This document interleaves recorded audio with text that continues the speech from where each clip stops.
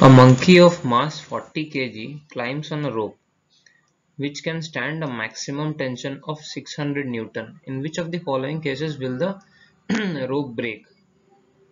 Is it 1 when it climbs up with an acceleration of 6 meter per second square? Uh, when uh, B when it climbs down with an acceleration of 4 meter per second square c it climbs up with an uniform speed of 5 meter per second falls down the rope nearly freely under gravity. We know that the maximum tension is 600 newton. In the first case we have the acceleration 6 meter per second square in the upward direction.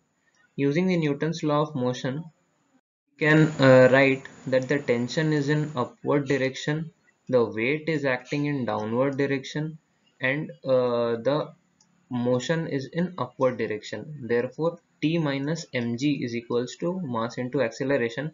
We find out that t is 640 newtons. That is much more than the maximum tension the rope can withhold. Therefore the rope will break.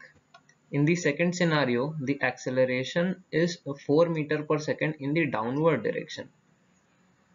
In uh, By using the Newton's law of motion, we can write that T minus mg is equals to minus ma.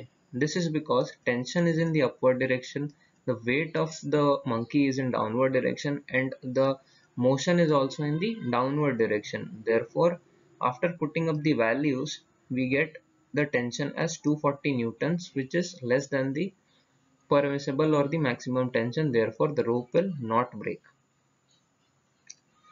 see up uh, the monkey moves upward with a constant speed of 5 meters per second thus the acceleration is zero therefore uh, the tension is is equals to mg mg therefore the tension uh, in the rope would be 400 newtons. There, uh, thus the rope will not break. Here the monkey falls down under the acceleration due to gravity in the downward direction. Therefore, using the Newton's law by T minus mg is equals to mass into acceleration and putting the values, we get the tension as 0 on the string. Therefore, the rope will not break.